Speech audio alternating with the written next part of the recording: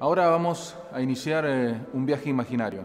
un viaje que recorrerá toda la Argentina, las 3.200 hectáreas que la familia posee a lo largo de la cordillera de los Andes.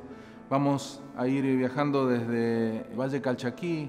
en Salta, en el Valle de Cafayate, a 1.650 metros sobre el nivel del mar, suelos arenosos,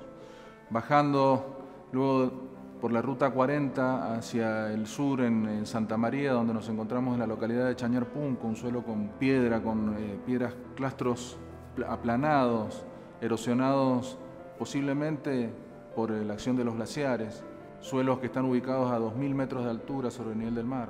Bajando luego otra vez por la misma ruta 40 nos vamos a encontrar cerca en la provincia de San Juan, en el Valle de Pedernal, 1.400 metros sobre el nivel del mar, suelos otra vez con alto contenido de rocas,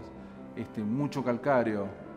eh, un paisaje exquisito entre dos cordones montañosos. Viajaremos hacia el sur, llegando a la provincia de Mendoza. Ya hemos recorrido más de 1.100 kilómetros desde que partimos este viaje imaginario en Cafayate, llegando al Valle de Uco. De la vasta diversidad de viñedos que la familia posee a lo largo del oeste de Argentina,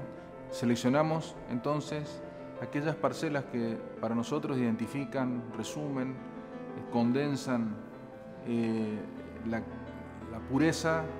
y la identidad de cada uno de los sitios, su gente, su clima, su paisaje.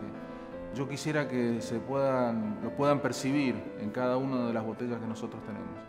Esto es un proyecto que a nosotros nos apasiona y, sobre todo hemos logrado interpretar el espíritu de la familia, de los que ellos quieren sentirse orgullosos cuando abran esta botella de vino y la compartan con el mundo.